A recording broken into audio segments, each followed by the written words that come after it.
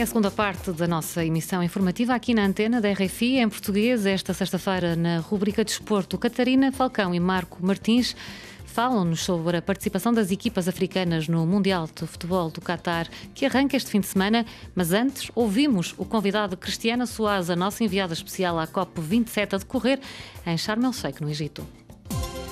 Convidado.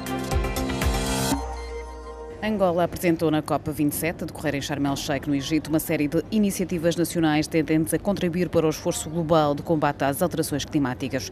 O país participou ainda noutros eventos, como o Fundo Azul para a Bacia do Congo. Sobre o dossiê das perdas e danos, Giza Gaspar Martins, coordenador da Delegação Técnica de Angola na COP27, reconheceu a dificuldade do assunto por tratar-se de uma questão política.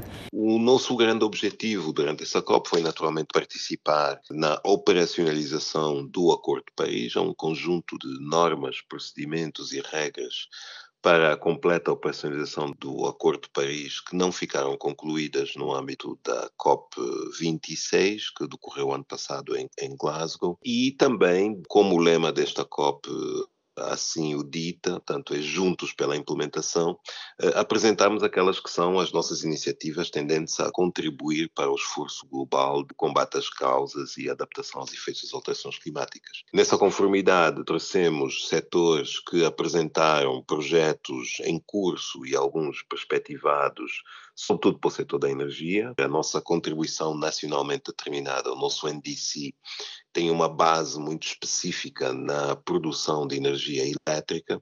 Portanto, trouxemos a empresa pública de geração de energia, a Prodel, a Sonangol, que é a empresa petrolífera nacional angolana, mas que também está a desencadear um esforço de descarbonização da sua produção, mas também de compensação de emissões, investindo em projetos de energias renováveis. Trouxemos também uma iniciativa que tem a ver com o hidrogênio verde, em fase de estudo e de planificação por parte da nossa petrolífera também, que foi partilhada durante a Conferência das, das Partes, e depois trouxemos a nossa Estratégia Nacional da Biodiversidade e Plano de Ação para a Biodiversidade, trouxemos eh, questões relacionadas com a gestão dos recursos hídricos uh, angolanos e esforços transfronteiriços. Tivemos como base o pavilhão da Comissão da Bacia do Congo, que tem um fundo azul para o clima, uh, do qual Angola faz parte e foi o nosso ponto de transmissão de informação. Essa apresentação serve também para pedir financiamento para esses projetos? Até um certo ponto, sim, é um esforço de divulgação. O que nós apresentamos são fundamentalmente projetos que estão, para todos os efeitos, eh, financiados, tanto com de financiamento muito avançados, mas que terão um impacto muito decisivo no alcance das metas que, a que nós nos propusemos no âmbito da nossa contribuição nacionalmente determinada. A COP também serve para a troca de experiências, portanto, também foi uma oportunidade de demonstrar como é que Angola conseguiu resolver algumas questões relacionadas com financiamento, tecnologia e a operacionalização desses projetos. E até divulgação dos mecanismos financeiros que existem e que podem ser colocados ao dispor da ação climática. Sobre a questão da Bacia do Congo e do Fundo Azul, pedir para me falar um bocadinho mais eh, desta questão. O Fundo Azul da Bacia do Congo é um instrumento financeiro que foi estabelecido pelos chefes de Estado da Comissão da Bacia do Congo, tanto que integra todos os países da África Central e também os Marrocos. E no âmbito desta comissão foram identificados um conjunto de 110 projetos de toda a região. O fundo tem uma capitalização inicial proveniente dos países, mas está engajado num processo de arrecadação de, de recursos, de mobilização para a sua capitalização, com base em projetos bancáveis. Portanto, no âmbito do pavilhão da Comissão da Bacia do Congo foram apresentados projetos de vários países, dentre os quais os nossos, naturalmente como parte do esforço de promoção e mobilização dos financiamentos para este fundo. E nós levamos ao fundo projetos essencialmente relacionados com a, o setor da energia, mas também um importante projeto de adaptação para a região sul do país, de Angola, que tem vindo a ser assolada por um ciclo que se tem vindo a agravar e a encurtar de secas e cheias na região sul de Angola, como é, aliás, a realidade na região austral do continente africano.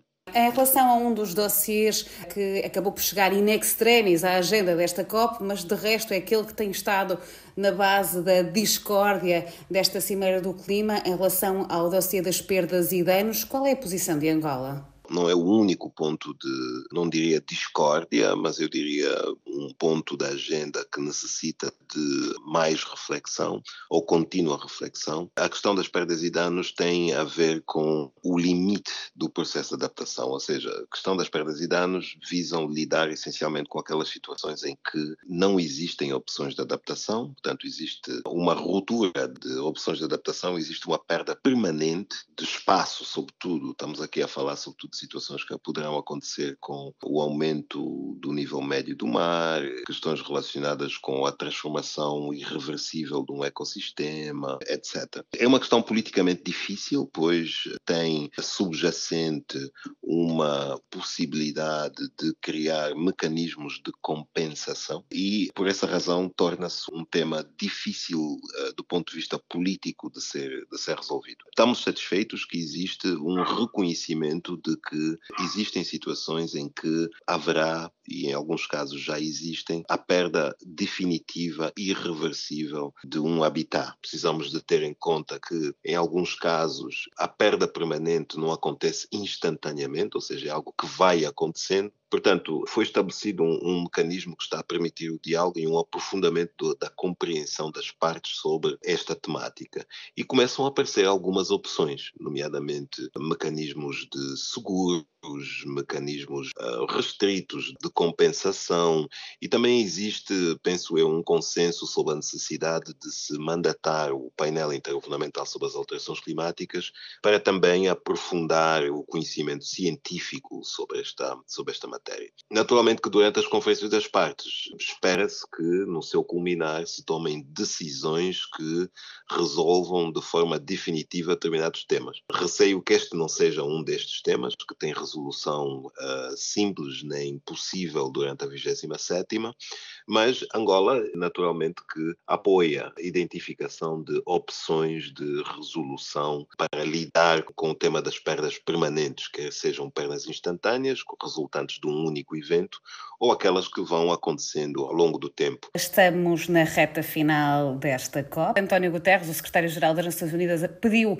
um acordo ambicioso. É possível sair daqui um acordo convincente? É sempre possível. Compreendemos que lidar com as alterações climáticas requer de todas as partes sacrifícios requer eh, vontade fundamentalmente política de alterar eh, modelos de desenvolvimento, estruturas económicas, tem um impacto inclusive na força de trabalho dos países, mas é possível porque não temos opções.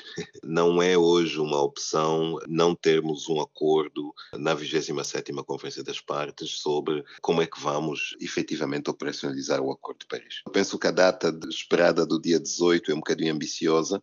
Há aqui questões relacionadas com o mercado de carbono, questões relacionadas com, com as perdas e danos, há questões relacionadas com financiamento climático, que ainda são difíceis, são políticas e tipicamente requerem algum tempo de diálogo entre as partes de alto nível, que é o que está a acontecer, e eh, esperamos que sejamos todos capazes de estar à altura daquilo que se espera, daquilo que o mundo espera da Conferência das Partes, da COP, da COP27, sem naturalmente esquecer que as decisões têm de salvaguardar os princípios da Convenção, nomeadamente o princípio das responsabilidades comuns, porém diferenciadas. Precisamos de reconhecer que existem Estados que têm responsabilidades acrescidas uh, pela sua responsabilidade histórica em matéria de emissões, mas também pela sua capacidade pela capacidade em matéria de recursos técnicos, recursos financeiros, os quais nós designamos coletivamente como as ferramentas para as alterações climáticas, precisam de ser partilhados para permitir que se possa então lidar com este fenómeno com a urgência que uh, as suas causas e os seus efeitos exigem. Era Giza Gaspar Martins, coordenador da Delegação Técnica de Angola na COP27 de Sharm el Sheikh, Cristiana Soares, RFI.